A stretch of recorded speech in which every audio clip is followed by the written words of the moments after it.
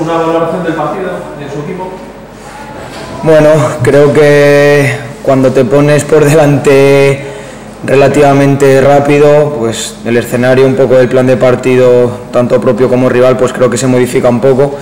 Nos pasó la semana pasada con Pontevedra, pero al revés, que empezaron ganando ellos minuto 14 eh, o así, y al final, pues bueno, nos tocó a nosotros llevar mucho el, el peso de partido con balón y ellos más replegados esperando transiciones y ha sido un poco al revés, ¿no? Nosotros veníamos aquí con, con un poco otras intenciones en nuestro plan de partido A, pero teníamos un plan de partido B que también podía darse, que es el que ha pasado, el de ir ganando y bueno, poder castigarles en, en situaciones de transición. Creo que hemos estado bien, a partir de ese 0-1 el equipo ha crecido en fase defensiva también, evidentemente sin esa urgencia de, de atacar eh, en campo contrario más posicional Luego ha llegado el 0-2, que también nos ha reforzado ese plan de partido B. Y bueno, en el descanso hemos tenido que ajustar alguna cosilla. Luego es verdad que con la entrada de Parapar y Josiño hemos tenido que modificar la presión, que nos estaban ahí haciendo daño con, con Jimmy por dentro, con Roque, que sabíamos que tenían mucha movilidad.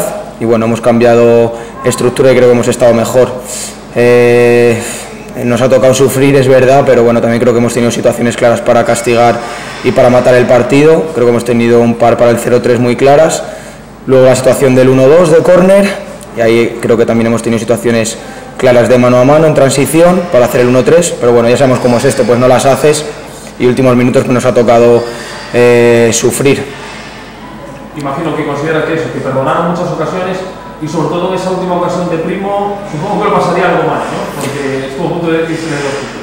Sí, está claro. A ver, nosotros no estamos acostumbrados a sentirnos tan defensores. Eh, evidentemente hoy ha sido un partido en el que no hemos tenido tanto balón como otros días, no hemos podido desarrollar ese juego de posición o ese nivel de, mm, posesión o alto nivel de, posesión. Pero bueno, eh, evidentemente cuando defiendes tanto tiempo cerca de tu portería, pues sabes que las ocasiones pueden, pueden llegar. Aún así creo que no nos han generado en exceso, las que nos han generado creo que Aitor ha estado muy bien y evidentemente por la que dices tú esa última de Primo, que ha tenido el empate y por, bueno, por fortuna para nosotros pues acaba el partido ahí. Hoy hay cambio de líder en la categoría, se quedado en el Pontevedra con 56 puntos. Su equipo prácticamente afianza la tercera posición y prácticamente el, playoff. Supongo que en las jornadas que restan no, aún no, no descartan llegar a, ese primer puesto. Bueno, eh, no sabía lo de que había ganado el Pontevedra, no lo había mirado todavía. Eh, si te soy sincero, nos centramos mucho en el día a día, la verdad. Eh, sé que suena muy tópico y demás, pero es que es la realidad. Desde el primer momento tenemos claro que nos vamos a centrar en el proceso, en disfrutar ese camino. Hay un grupo humano espectacular y bueno, vamos a seguir ahí, sin pararnos a pensar demasiado en lo que me dices tú de pelear a lo mejor por ganar la liga o el tema de que me dices de afianzar el playoff.